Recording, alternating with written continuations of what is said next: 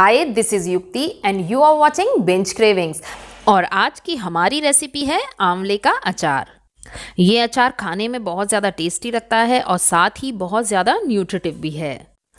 वैसे तो आंवला केवल सर्दियों में आता है, लेकिन अगर आप आंवले का अचार बना के रख लेते हैं तो आप इसे एक साल तक कंज्यूम कर सकते हैं। तो इस अचार की रेसिपी को स्टार्ट करने से पहले जल्दी से मेरा चैनल सब्सक्राइब कर लें और बेल आइकन को भी प्रेस कर दें, ताकि आप तक मेरी सभी नई रेसिपीज़ पहुँचती रहें। तो आइए स्टार्ट करते हैं आज की रेसिपी आंवले का अचार बनाने के लिए मैंने यहाँ पर लिए हैं एक किलो आंवला। अचार के लिए आंवले खरीदते वक्त ये ध्यान रखें कि आंवले एकदम साफ़ सुथरे हों और साथ ही उन पर किसी तरीके के गड्ढे या धब्बे ना हों। आंवलों को हमें अच्छे से साफ़ पानी से धो लेना है। धोने के बाद में मैं इसे बॉईल करूँगी। आप चाहें तो इन्हें स्टीम भी कर सकते हैं या फिर इन्हें प्रेशर कुकर में बॉईल कर सकते हैं। प्रेशर कुकर में बॉईल करते वक्त हमें इसमें केवल आधा कप पानी डालना है, ज़्यादा पानी ना डालें। इसे हमें एक विसिल आने तक पकाना है। जब इसमें विसिल आ जाएगी, तब हम इस विसिल को उठाकर सारा प्रेशर इसका रिलीज़ कर देंगे ताकि आंवले ओवरकुक ना हों। आंवले उबल के तैयार हैं और ये इस समय बहुत गर्म हैं। जब ये ठंडे हो जाएँगे, तब हम इसमें से इसके बीज अलग कर देंगे। लेकिन इसको ओवर कुकिंग से बचाने के लिए मैं इसे प्रेशर कुकर से निकाल रही हूँ और जैसा कि आप देख सकते हैं कि जो आंवले मैंने यूज़ किए थे, वो काफ़ी कच्चे थे। तो वो एक विसल में ही ये काफ़ी पक गए हैं। आप इस रेसिपी को ज़रूर ट्राई कीजिएगा और यकीन मानिए, ये अचार बहुत ही टेस्टी बनेगा। तो सारे आंवले मैंने बाहर कर लिए हैं।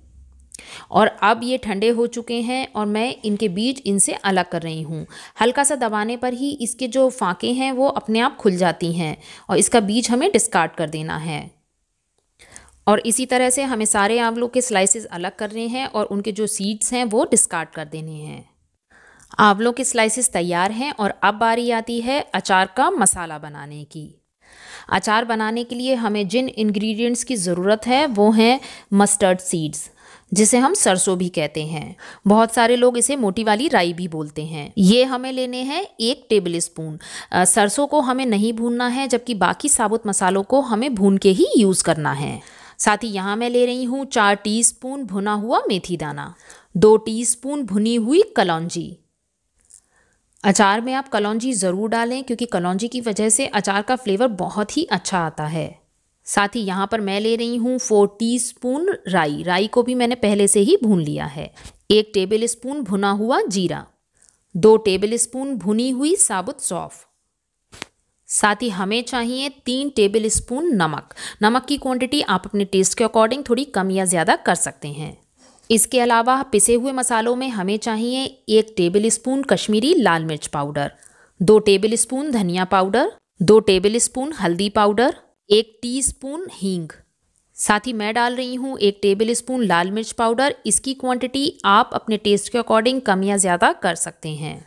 मेथी दाना, राई, सरसों, कलौजी, भुने हुए जीरे और भुनी हुई सौंफ को हमें दरदरा पीस लेना है।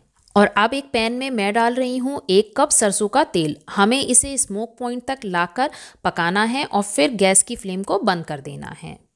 और जब ये हल्का गर्म रह जाएगा, तब हम इसमें पिसे हुए मसाले डालेंगे। जितने भी साबुत मसाले मैंने यूज़ किए थे, मैंने उन्हें दरदरा पीस लिया है।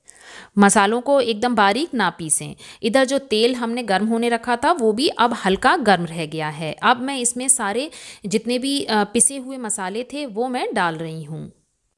सारे मसाले डालने के बाद में अच्छे से मिक्स करें। जितना हल्का हल्का गर्म तेल है, बस इसी की गर्मी में ये मसाले सिक जाएँगे। गैस की फ्लेम को ऑफ़ ही रखें। इन मसालों के बाद में अब बारी आती है दरदरे पिसे हुए मसाले डालने की। इस अचार को बनाते वक्त हमने किसी भी प्रिजर्वेटिव का यूज़ नहीं किया है, फिर भी आप इसे एक साल तक स्टोर करके कंज्यूम कर सकते हैं।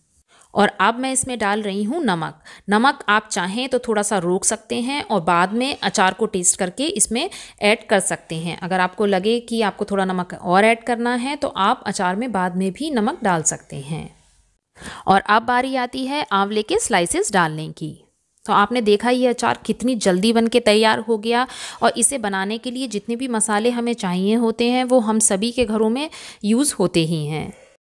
आंवले के स्लाइसेस को और मसाले को अच्छे से मिक्स करें, ताकि जो मसाला है वो आंवले के स्लाइसेस को अच्छे से कोट कर ले।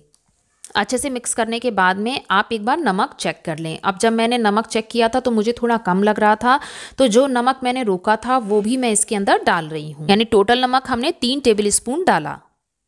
और अब मैं इसमें डाल रही हूँ तीन टेबल स्पून नींबू का रस। वैसे तो आंवला भी अपने आप में बहुत खट्टा होता है, लेकिन जो नींबू का रस होता है, वो प्रिजर्वेटिव की तरह काम करता है। यानी जो प्रिजर्वेटिव हमने यूज़ किया, वो टोटली नेचुरल है और हमारी हेल्थ के लिए फ़ायदेमंद ही है। आप इस अचार को तुरंत भी कंज्यूम कर सकते हैं और एक एयरटाइट कंटेनर में स्टोर कर सकते हैं। अचार को स्टोर करते वक्त ये ध्यान रखें कि आप कंटेनर में भरते वक्त उसे हाथों से दबाते जाएँ और फिर उसके ऊपर स्लाइसेस डालते चले जाएँ, जिससे जो एक्स्ट्रा एयर है वो अचार के बीच में ना रुके। क्योंकि अगर आप अचार को खुला खुला भरेंगे तो वो एयर की वजह से ख़राब हो जाएगा। आज की इस रेसिपी को ज़रूर ट्राई करें और अपना फीडबैक मेरे साथ शेयर करना ना भूलें। अगर इस रेसिपी के रिगार्डिंग आपके कोई क्वेश्चंस हैं तो आप कमेंट बॉक्स में जाकर मेरे से पूछ सकते हैं। अगर आपको आज की रेसिपी अच्छी लगी हो तो प्लीज़ इसे लाइक करें और ज़्यादा से ज़्यादा शेयर करें। फिर मिलती हूँ एक नई रेसिपी के साथ। Till then take care